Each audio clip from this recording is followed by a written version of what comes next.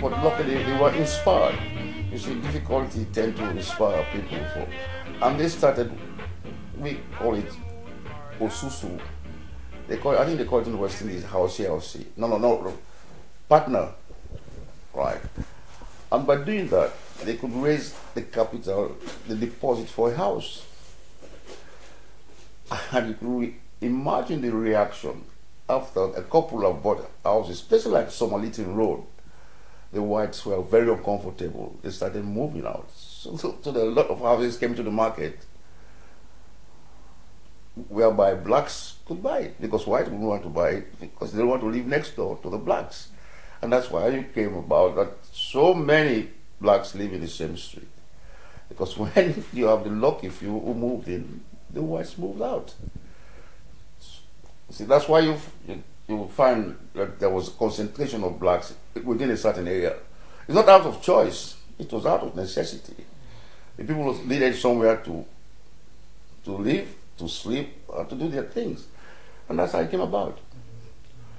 And being ex-colonial, we were rather disappointed with the reception we had in this country. We thought the mother country and all that jazz, you know, the colonial flag waving it. And, uh, what, we took it in a stride. But I was personally disappointed. There was no social intercourse between. Well, when you look at most of these people here, they don't never travel, no go nowhere. No, no. And, And- they, and they say things and don't know what they're saying. And remember, the ones that saying those things is the unintelligent ones that Yes. don't know nothing. That nothing those ones that are educated and have traveled, they don't say those no, things. No, So when you meet them, lot, They you know, they're nothing much. nothing, not much. And, and they're the one that Those are the mouth. ones, yes. Because the things when you when you hear they say um, over the water, Eh. it's over the Thames. It's You- over the yeah, Thames, they they're don't going over the it's water, they're going it's nowhere else. And in my country, I like- traveled that country that I know it. You know, those three counties we got, we traveled it so that we know that they live here, they never go over. No, son. They don't, they don't know. That's what I said. If they live here, they go this way, they don't know. They That's don't know the next road. Don't. Yeah. Anyway, we come for a, we came here for a reason. We came to educate them. Yeah. And we came to see and know the differences of people, People. and how people live. But they don't. And They don't. we Some of them, most of them don't because know. they don't know any better.